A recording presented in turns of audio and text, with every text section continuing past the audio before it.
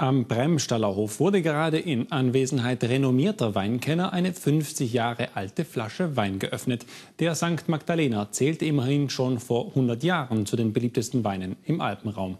An den Hügeln oberhalb von Bozen angebaut, gilt er als frischer, unkomplizierter und kurzlebiger Wein. Doch diese landläufige Meinung wird immer öfter widerlegt.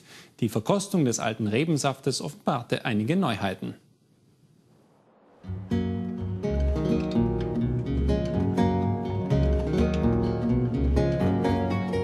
Wenn Gertrud Vogel durch die archaische Reblandschaft wandelt, scheint die Zeit stehen geblieben zu sein.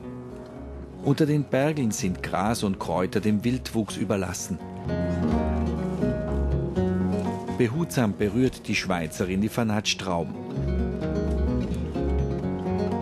Der Bremstaller Hof ist seit zig Jahren im Besitz ihres Mannes. Als Autodidaktin bewirtschaftet Gertrud Vogel das Weingut nach biodynamischen Kriterien und ist dabei ihrem Herzen gefolgt. Was die Umstellung betrifft hier im Südtirol, was Weinqualität anbetrifft, was ist sicher ein Vorteil, weil ich völlig unvoreingenommen keine Herbizide, keine Fungizide, keine Pestizide, Mengen reduzieren, keine synthetischen Düngemittel mehr. Also nicht mehr auf Menge, sondern absolut auf natürlichen Qualität. Und da habe ich total auf, auf den Boden, auf das Erdreich gebaut und vertraut. Die Weinberge des Bremstaller Hofs befinden sich in den besten Lagen von St. Magdalena. Gertrud Vogel legt Schafwolle aus.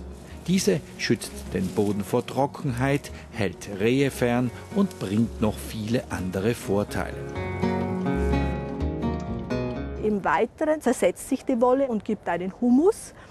Und außerdem unter der Wolle und auf der Wolle, da leben meine Nützlinge und meine, meine Vielfalt von äh, Bodenlebewesen.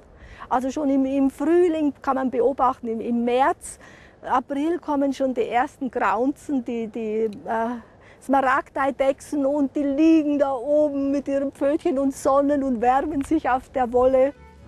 Die natürliche und traditionelle Machart des Magdaleners vom Bremstaller Hof wird seit über einem halben Jahrhundert von der Familie Rottensteiner in Bozen gepflegt.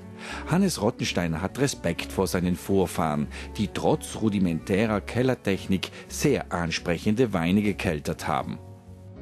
Man kann fast reden von Vino Naturale. Alles mit indigenen Hefestämmen, mit, all mit äh, Säureabbau nicht äh, kontrolliert. Nebenbei ist alles im Holz gearbeitet worden, das heißt die Temperaturkontrolle war äh, praktisch überhaupt nicht gegeben. Noch drei Flaschen Bremstaller Hof Jahrgang 1964 konnten im Archiv gefunden werden. Wie sich ein Magdalena nach so langer Zeit entwickelt, wollte Hannes Rottensteiner von einem Profi erfahren. Thomas Vaterlaus ist Chefredakteur des renommierten Weinmagazins Wienum und ist eigens aus Zürich angereist, um dem spannenden Augenblick beizuwohnen. Im Gaumen überrascht eigentlich mit einer Fülle, die man eben auch von seinem Typ von Wein nicht erwarten würde. Also der Wein hat vielleicht heute oder erscheint sogar fülliger, als er damals war. Also er hat durch das Alter so wirklich eine, eine Alterssüße entwickelt, die sehr präsent ist. Das Experiment ist gelungen. Die Magdalener Weinbauern können stolz auf ihren edlen Tropfen sein, der vor gar nicht allzu langer Zeit beinahe totgesagt war.